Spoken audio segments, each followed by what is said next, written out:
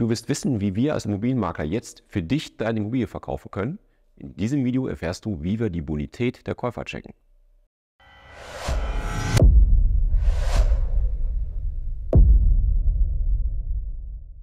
In dem Video von gerade eben hast du erfahren, was wir machen, wenn wir anfangen, deine Immobilie zu verkaufen. Das dauert ungefähr 14 Tage bis circa vier Wochen, bis wir die ersten Besichtigungstermine realisieren. Bedeutet also, in diesem Zeitraum, 14 Tage bis vier Wochen, finden die BTs, also Besichtigungstermine, statt.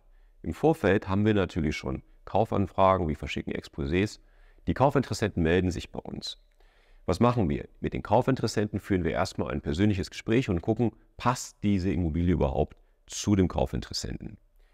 Wir werden auch jeden Käufer fragen, wie lange suchst du denn schon nach einer Immobilie oder hast du gerade erst angefangen, dich mit dem Kauf einer Immobilie zu befassen?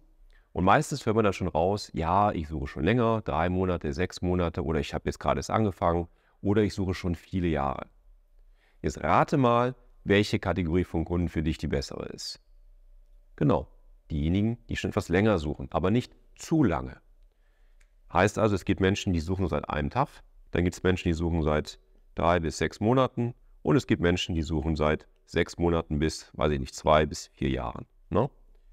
Das sind die Kunden, die wir haben wollen. Menschen, die schon wissen, was sie kaufen wollen, die, die haben schon mal Immobilien besichtigt, die haben schon mal mit ihrer Bank gesprochen. Das sind unsere Käufer. Und genau das ist unser Job. Wir selektieren genau diese Käufer heraus und machen Besichtigungstermine in deiner Immobilie. Teil unserer Maklerleistung.